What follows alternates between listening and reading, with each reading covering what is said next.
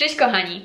Witam Was bardzo serdecznie w filmie, który mi tematyką bardzo odpowiada, więc mam nadzieję, że też tak będzie z Wami. Jeżeli chcecie, docencie to i oczywiście spotkamy się w komentarzach, bo dziś argumentów będzie dużo. Mianowicie przedstawiam Wam dziś 10 moich przykładów dotyczących rzeczy, grup rzeczy, węższych, szerszych i tak dalej, które muszę kupić nowe, które tak od lat kupuję nowe. Jest to moja subiektywna, mało obiektywna opinia, więc na tych moich 10 widzi mi się serdecznie Was dziś zapraszam. Czekam na Wasze przykłady, czekam też na Wasze argumentacje za i przeciw moim argumentom, na Wasze przykłady, na Wasze historie, na wszystko to, co od Was w komentarzach, bo mam nadzieję, że jakoś tę dyskusję wywołam. Będziecie chcieli się ze mną tym podzielić i słuchajcie, jeszcze ważna rzecz, jeżeli ten film Wam się spodoba, przypadnie Wam do gustu, a algorytm YouTube'a nas nie zje, to chciałabym zrobić jeszcze dwa filmy powiązane. Zaczynamy od tego najgorszego. Od tego, od którym mogę oberwać, bo mogę wyjść też na snopkę i tak dalej. A więc zaczynamy od 10 rzeczy, które zawsze kupuję nowe na dzień dzisiejszy. Któryż my to mamy? 23 października 2021 roku. Lecimy. Chociaż zaraz na przykładzie będziecie wiedzieć o czym mówię, no to spróbujmy na okrętkę. Raz byłam na wakacjach z moją klasą z liceum i miałam piękne nowe buty, po których, no cóż, poruszałam się po kamieniach i dosłownie w jeden dzień, bo szliśmy taką trasą, mimo że chodziliśmy jakby po mieście, to trasa była tak pochylona, zdarłam nowe koturny zupełnie na krzywo i w tych butach po tym wyjeździe nie dało się już chodzić, a szef powiedział, że za dużo by trzeba było zerwać, żeby jakkolwiek się to opłacało. Kolejny przykład to to, jak kiedyś kupiłam, no wiadomo już, że mówimy o butach, używane buty i okazało się, że mimo iż buty położone na blacie wyglądały wręcz perfekcyjnie, wiecie o co mi chodzi, podeszwa była po prostu tip top, to w środku dziewczyna, która je sprzedawała przypuszczalnie miała jakąś wadę i zdecydowanie gdzieś się tam w środeczku mimo wszystko powycierała i ja osobiście na dzień dzisiejszy i na dzień tamten, nie mając zupełnie wady, e, nie mogłam w nich chodzić, bo bolała mnie po prostu noga. Po prostu czułam, że chodząc w nich wyrabiam sobie tą wadę, którą miała tamta dziewczyna, więc po prostu musiałam się z tymi butami pożegnać, a że były, no wiadomo, nie do naprawienia, to trafiły niestety do kubła. No i słuchajcie, dlatego też nie kupuję używanych butów, ale wstrzymajcie się, jeżeli ktoś mi powie, że buty były faktycznie niechodzone albo wyszedł w nich dwa razy, wtedy się zdecyduję. Druga sprawa, kupię mimo wszystko używane szpilki, bo wtedy po prostu widzę, że but jest dobry z przodu, a fleki sobie wymienię na nowe u szewca i nie ma żadnego problemu. Jednakże podaję Wam te buty jako przykład, więc zdecydowanie nie, ze względu na to, że można trafić na buble i jednak stopa to stopa. Ja wiem, że opowieści o małych dzieciach i stopach są ważne, ale zwracajmy też uwagę, jak dbamy o swoje własne stopy, bo na starość też się możemy nabawić niezłej wady. Lecimy dalej, bo to była zdecydowanie długa opowieść. Jeden ze zdecydowanie moim zdaniem bardziej wyjątkowych podpunktów to znaczy prezenty. Z jednej strony możecie pomyśleć, co mają prezenty do całej tej dyskusji. Z drugiej jednak to właśnie prezenty są rzeczami, których na pewno na 100% na dzień dzisiejszy e, nie kupię używanych. No i przechodząc do meritum. Gdybym od kogoś dostała jeden z pięknych szklanych zegarów, albo nie wiem, jakąś szkatułkę sprzed 50 lat. Mm, bardziej markowy, ale używany zegarek w świetnym stanie i tak dalej. Nie miałabym nic przeciwko temu. Wierzcie mi, nic by mi to w tym nie przeszkadzało, dlatego że sama lubię kupować właśnie takie używane rzeczy, rzeczy z duszą, że tak powiem i nie miałabym problemu. Natomiast e, na dzień dzisiejszy nie znam nikogo takiego, kto nie obraziłby się w drugą stronę, a może raczej nie, nie obraził, ale nie do końca by zrozumiał. Nie porównujmy tego do wielkich prezentów albo do kupowania, nie wiem, prezentów swoim pociechom, jak nie wiem, używany telefon. Wierzę, że ktoś jest w tej sytuacji. Natomiast ja osobiście nie znam nikomu, nikogo, z kim mogłabym stuprocentowo powiedzieć, tej osobie by to nie przeszkadzało. Ona nie poczułaby się w żaden sposób urażona, zrozumiałaby całkowicie moje dobre, dobre intencje. E, więc tutaj zdecydowanie prezentom niestety mówię nie. Dlaczego niestety? Dlatego, że mam wrażenie, że naprawdę czasami znalazłabym coś bardziej wyjątkowego niż po prostu jakiś zbiór, luźny zbiór rzeczy ze sklepu, gdybym właśnie mogła szukać rzeczy używanych. Natomiast na dzień dzisiejszy nie mogę szukać takich rzeczy, bo nie mam stuprocentowej pewności, że ktoś by zrozumiał, że nie poczułby się urażony, a dawać komuś prezent i wyjaśniać, jakie były moje intencje i dlaczego postąpiłam tak, a nie inaczej, no nie, zdecydowanie odpada. Kolejna rzecz to rzecz dla jednych wydaje mi się bardzo oczywista, drugie zaś osoby mogą pomyśleć, że mocno, mocno przesadzam i chodzi o nic innego jak o oczywistą dla mnie bieliznę. Ja wiem jakie są procesy prania na przykład w second handach. Ja wiem, że jeżeli ktoś pisze nowe bez metki, to to powinno być nowe bez metki i tak dalej. Natomiast o ile w wypadku biustonoszy ja osobiście mogłabym jeszcze przymknąć oko, natomiast nie przymykam, e, bo po prostu nie, o czym zaraz. Tak, z drugiej strony w kwestii bielizny ustalmy sobie, że dla mnie snobistycznie albo higienicznie, albo jak kto woli, bielizna jest tą rzeczą, którą mogę sobie kupić nawet i tanią, ale chcę mieć własną, chcę mieć nową. To nie zawsze znaczy, nie mam klapek na oczach, że będzie mieć świetny skład, e, że będzie świetna dla mojego ciała, że ta nowa tania albo w średniej cenie będzie dużo lepsza niż nawet ta najlepsza z second handu używana i tak dalej, bo absolutnie tak nie jest. Natomiast tutaj jest pewna moja blokada psychiczna, której absolutnie nie przeskoczę. Nie ma takiej osoby, która by mnie tego, do tego zmusiła. Nie, nie i jeszcze raz nie. Rozumiem zupełnie drugą stronę i oszczędzanie, i poszukiwanie lepszej używanej bielizny, i kupowanie rzeczy, które są podobno nienoszone i są nowe, natomiast absolutnie nie, nie dla mnie. No cóż, po prostu lecimy dalej. Kolejny podpunkt to elektronika. I nie bójcie się, nie aż tak szeroka jak myślicie, lecz po prostu elektronika ogólnie dostępna. Chodzi mi mianowicie o aparaty cyfrowe, lustrzanki i tak. Jak wiecie, wiadomo, że czymś nagrywam. Aktualnie nagrywam Canonem, wcześniej nagrywałam Lumixem i tak więc generalnie troszkę już tego było. I tak oto na przestrzeni lat postanowiłam, że ze względu na to, że wypadki się zdarzają, a sprzęt czasami wygląda idealnie, mimo że w środku już taki idealny nie jest, jeżeli chodzi o aparaty, do nagrywania, aparaty cyfrowe i tak dalej, będę tylko i wyłącznie kupować nowe. Chcę mieć takie zapewnienie, że jeżeli nie będzie łapał ostrości, jeżeli będzie z nim jakiś problem i tak dalej, to zawsze mogę go oddać na gwarancję.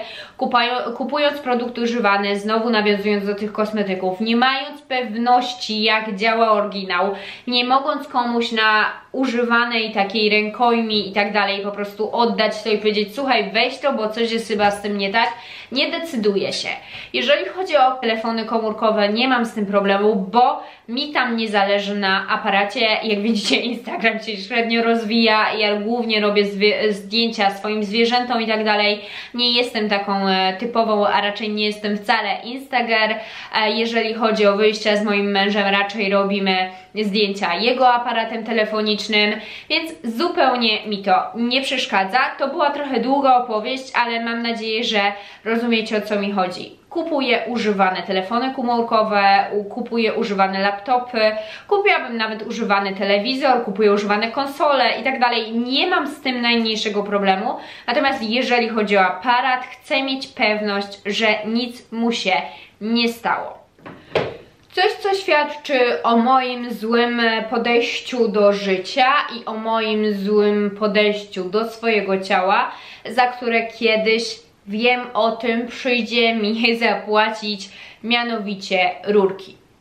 To nie jest tak, że kupowałam sobie spodnie e, przez wiele lat i na chwilę zakochałam się w rurkach. Ja w spodniach obcisłych z wysokim stanem zakochałam się już wiele, wiele, wiele lat temu i mimo, że tych par nie mam wcale tak dużo i nie pamiętam kiedy ostatnio kupowałam jeansy, wierzcie mi, właśnie skłamałam w lipcu tego roku, ale e, nie pamiętam kiedy kupowałam w zasadzie te jeansy tak w ogólności, bo robię to niesamowicie rzadko, myślę, że teraz spokojnie raz na pół roku, nie częściej.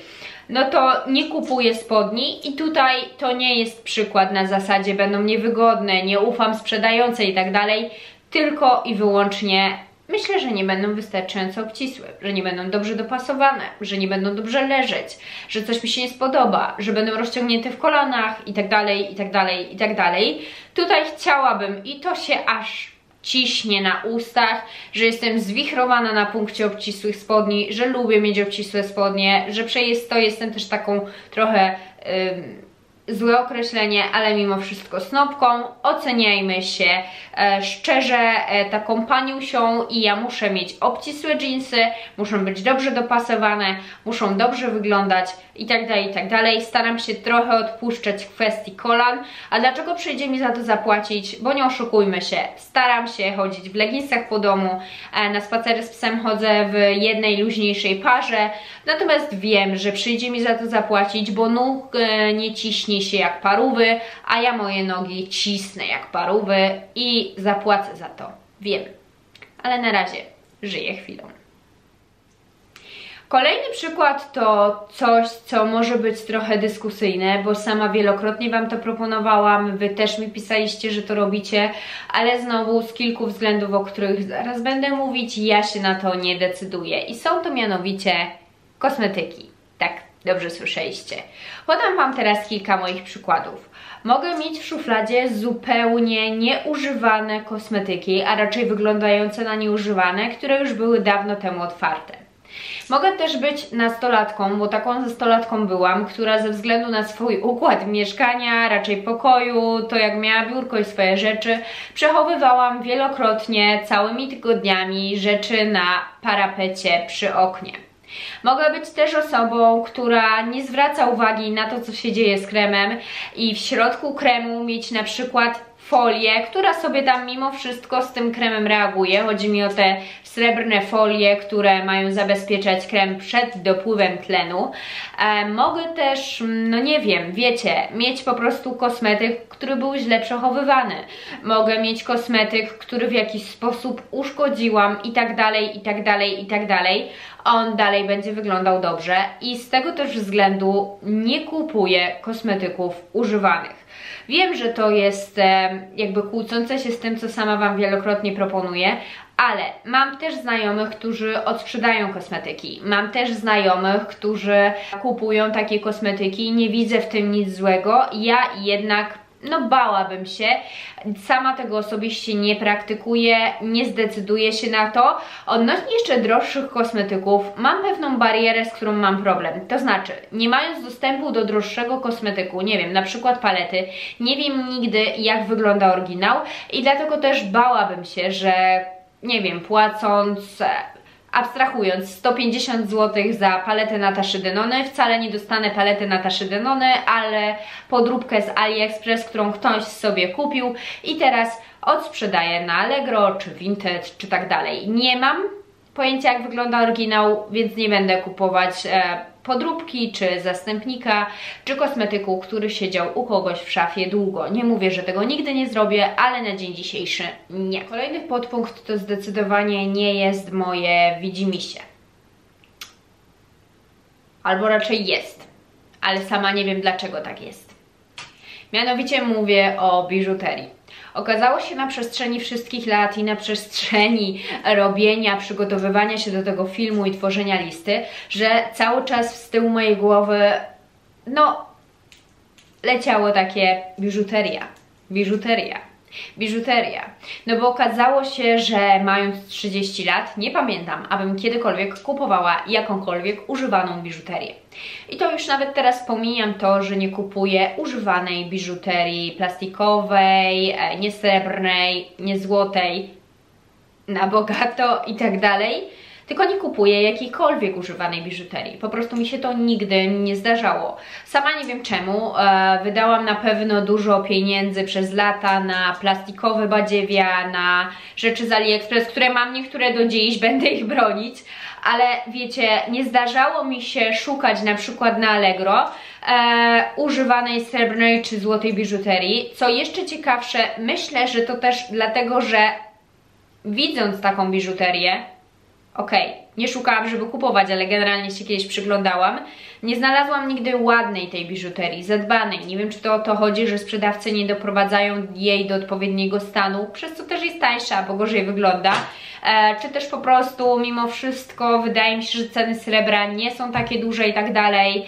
E, generalnie nie i nigdy się mi to po prostu nie zdarzyło. Nie wiem, czy chcę to zmieniać ze względu na moją politykę dotyczącą biżuterii, że ma być z okazji jakiejś okazji, że ma być od kogoś i tak dalej. E, chcę, żeby każda dla mnie już od kilku lat coś znaczyła, była od kogoś. E, dajcie znać, czy Wam e, no, da, udaje się kupować, czy szukacie w ogóle jakiejś używanej biżuterii, no bo jednak wiele osób swoje sprzedaje. Chyba naprawdę szukałabym takiej niesamowicie wyjątkowej biżuterii, na przykład starszej, e, występującej w mniejszej ilości egzemplarzów, ale to już jest moje widzimisię, jak zawsze gdybym już miała szukać. Dziwny podpunkt. I teraz mówię o dziwnym podpunkcie, dlatego że to jest mój absolutny nie, nie, nie i jeszcze raz nie. Gdybym poszła do second handu i polowała na kurtkę zimową, może. Natomiast sama nie chodzę do second handów, raczej poluję jak już coś to na używane rzeczy online. I nigdy, przenigdy nie zmusicie mnie do zakupu kurtki zimowej używanej przez internet. I teraz argumentacja, żebyśmy mieli czystą sytuację. Mianowicie, pierwszy z moich argumentów jest taki, że jestem zmarzluchem, ale to takim zmarzluchem, zmarzluchem, zmarzluchem. U mnie nie rozumiem, rozumiem, ale mój mózg tego nie rozumie, jak można w zimie chodzić na przykład w jakimś tręczu albo cienkiej kurtce. Mój mózg musi mieć wizualizację, jaką jest mój wygląd jako ludzika Michelin w każdej kurtce zimowej, jaką mam. Ja muszę wyglądać jak mój ludzik Michelin, inaczej będzie mi zimno. Ja muszę mieć grubą kurtkę. Ja muszę mieć kurtkę, która mnie będzie trochę ściskać i musi być naprawdę, jak taka, wiecie, muszę być ściśnięta jak taki naleśnik nic innego nie wchodzi w rachubę, więc dlatego nie decyduję się na zakup kurtek, bo nie mam takiej pewności, że kupując jakąś kurtkę, nie przymierzając jej, będzie mi wystarczająco ciepło. Umówmy się, na Vinted, na Allegro i tak dalej, kupując rzecz używaną, rzadko kiedy macie możliwość zwrotu. No i wtedy kupuję rzecz używaną, na przykład kurtkę, zaoszczędzając za 100 zł, u jakiejś dziewczyny 150-200, widziałam nawet kurtki z Zary po 200 zł i nie tylko z Zary. I ja już tego nie zwrócę. Ubiorę ją w domu, będę wyglądać jak ludzik Michelin, ale ciało nie będzie odczuwać ciepełka i nie będę tego nosić. To jest długa opowieść, ale to jest moja osobista opowieść. Nigdy nie kupuję używanych kurtek zimowych, bo ludzik Michelin, odczuwanie ciepła i tak dalej u mnie zupełnie nie działa. Nie, nie i jeszcze raz nie. Dajcie znać, czy wynosicie cienkie kurtki zimowe i nie chodzi mi tutaj o cienkie kurtki zimowe z Forefa, które są po prostu doskonałe na pewno i które są ciepłe, ale wiecie, takie standardowe kurteczki, czy Wam jest ciepło w zimie? Bo mi nigdy nie jest ciepło. Jesienią i w ogóle jak wieje, lecimy dalej. Teraz będzie szybko, bo to będzie szybko, szybko się Wam odmieni i przejdziemy dalej.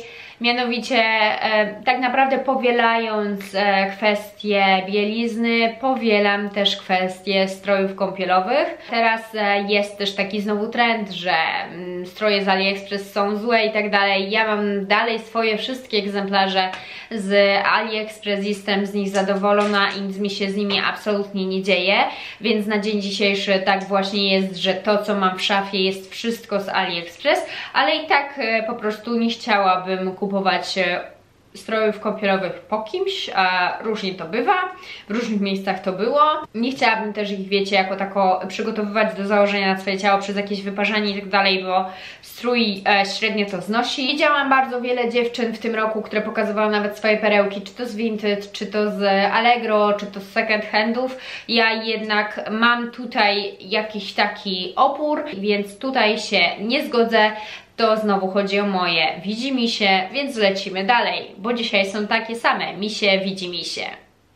Ten jeden z dziesięciu podpunktów będzie naprawdę wyjątkowy, bo to Wy możecie dać doskonały przykład, bo jak Wam wyjaśnię o co mi chodzi, to Wy na pewno znajdziecie przykłady całe grono, wielkie grono przykładów, e, które Wam przychodzą na myśl. Mianowicie kupowanie rzeczy, które są w tej samej cenie co w sklepie.